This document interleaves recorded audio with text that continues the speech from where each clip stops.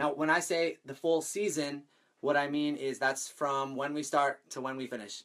This season that we're going to be doing for this this first launch of ULTACADEMY is going to run from basically now through May. The reason we're deciding to do that is because there's a big group of people around the world who run on that specific schedule. I know it's not the same for everyone. We want to make sure that we meet everyone's needs, but for now, we're going to run this first one September, October through April and May.